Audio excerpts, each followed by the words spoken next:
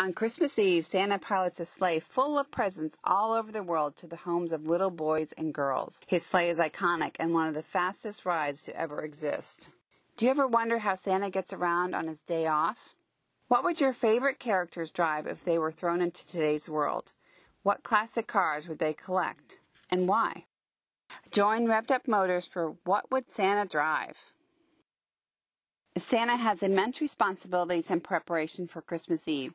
He manages his workshop in the North Pole, stays on top of the newest toy trends, and he coordinates his helpers in malls, Christmas parades, and kids' events around the world.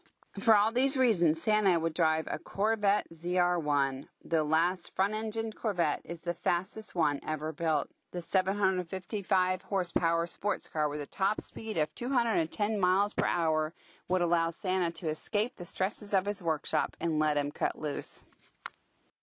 Santa's classic car would be a 1949 Mercury lead sled. The term lead sled refers to post-war Fords, Mercurys, and Cadillacs that were reshaped with molten lead. Other customizations included chopping the roof, channeling the body, Frenching lights, and removing all adornments.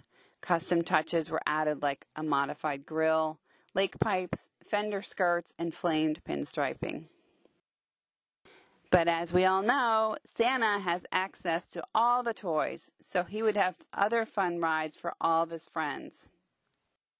Do you agree, disagree, or have better suggestions? Tell us your thoughts and post in the comment section below. Be sure to subscribe to see the rides of your favorite characters.